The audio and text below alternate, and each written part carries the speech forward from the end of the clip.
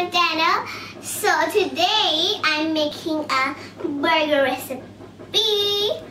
We don't really use it in Ramadan, but I'm just making it. So I'm, I'm gonna make three burgers. One for my mom, one for my dad, and one for me. Um, we have only two bu burgers here, buns of burgers, but um, I'm gonna get that bun later. So let's get started. Okay, so I'm gonna put, I'm gonna spread um, chili sauce on um, the upper bun. So let's get started to spread it. So I'm just taking it from here. Little bit. Like this.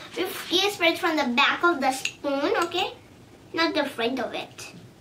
Just spread a little bit, guys. If you want to make a burger, let's um, spread a little bit like this, like this, everywhere. Okay? I'm to spread my knees, so I spread on both of them.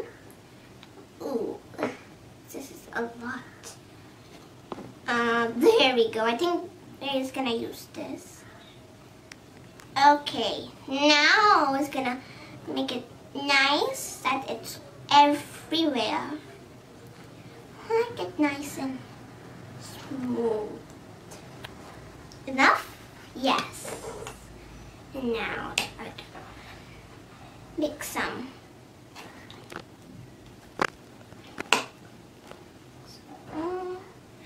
Oh, this is gonna be really nice. Do you like burger? I, a little bit I like it.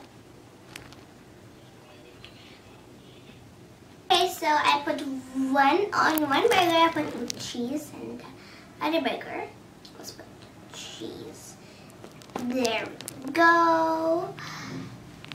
So the cheese is already on now. We let's put the next thing. Okay, so guys, we're gonna put meat. Let's get this meat on here and put the big one on here. So we're gonna put the last ingredient, tomato. Yes. How much tomato? One. There. Okay, so guys, we can eat our burger and we can serve it.